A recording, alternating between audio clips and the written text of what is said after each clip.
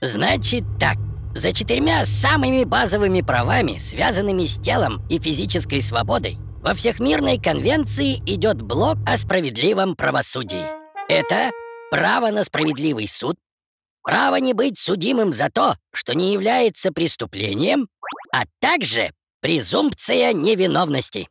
Последнее означает, что считать тебя преступником могут только по решению суда.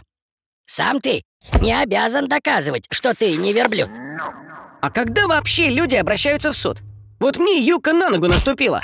Я за это подам на нее в суд, да? Хе-хе-хе, не совсем так. Люди обращаются в суд, когда речь идет о серьезном конфликте. Например, суд необходим, когда кто-то нарушает закон. И в этом случае разбираться с ним должен не тот, кого он обидел, не главный правитель лично, и тем более не толпа разгневанных соседей, а независимая инстанция — справедливый суд. А справедливый суд — это тот, что вынес решение в мою пользу? Или тот, что всегда находит настоящего виновного? Ага. Я все ждал, кто первый спросит, чем измерить справедливость. Тут много критериев. Смотрите. Суд, чтобы считаться справедливым, должен быть, первое, независим от правительства. Второе, сформирован на основании закона. Третье, доступен, то есть не спрятан в созвездии Козлопаса и не чрезмерно дорог. Четвертое, открыт для независимых наблюдателей. Пятое, беспристрастен, не связан с симпатиями к одной из сторон. Шестое, у обвиняемого должен быть защитник, знающий законы и имеющий право его защищать в суде. Седьмое. И, наконец, у человека должна быть возможность обжаловать решение суда. Ого! Серьезно подошли к вопросу.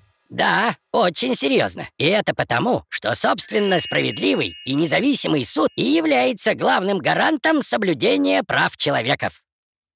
Еще одним важнейшим блоком являются права, защищающие от вторжения в личную или семейную жизнь. Например, никто не имеет права без твоего разрешения читать твои письма или залезать в твой личный компьютер, прослушивать твой телефон, подглядывать в окно и так далее.